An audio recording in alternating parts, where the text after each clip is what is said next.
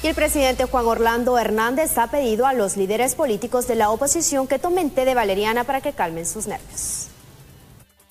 El presidente Juan Orlando Hernández aseguró este miércoles que no aspira a un periodo más y recordó a los partidos de la oposición que ya les ganó en dos oportunidades.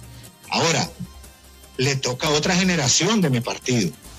Vendrá otros candidatos. Yo ya no voy a ser candidato y están tan preocupados que lo mencionan una y una y otra vez, pero yo más creo que también para otros es una forma de hacer una campaña porque al final no tienen propuestas. Se van a enfrentar con otro candidato, ya no conmigo. Ya le gané cuando se fueron ellos, solos como partido, la primera vez le gané. Después me echaron la vaca, le gané. Hernández, sin embargo, vaticinó que la oposición perderá las elecciones y explicó que y otros pues que al final piensan que nutrirse de decir cualquier barbaridad y como creen que la gente no es inteligente, por eso siguen perdiendo las elecciones. Y lo más seguro la van a perder, porque durante esta pandemia no los he visto ni los he escuchado proponer nada que los identifique con la necesidad del pueblo hondureño. No los he visto en esta pandemia.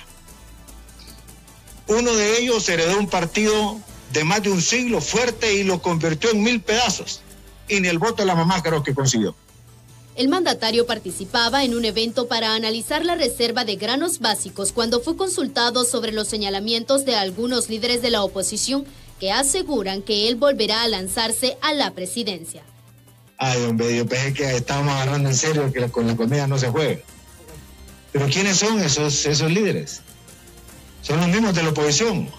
Los mismos de la oposición, presidente. Bueno, a esos eh, llévenme un mensaje. Primero que ya no se pongan tan nerviosos. Yo ya no voy a ser candidato. A todos me dice dónde están y les mando una cajita o una bolsita de té valeriana para que se calmen sus nervios